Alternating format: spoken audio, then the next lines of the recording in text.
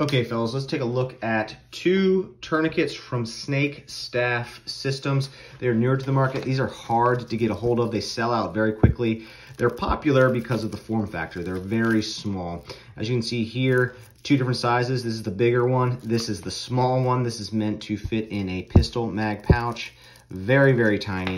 This one's a little bit bigger, still much smaller than a CAT tourniquet. Works in the same way. You got a windlass and you got all your slack down here. The windlass actually locks into place with this carabiner, which is a nice touch.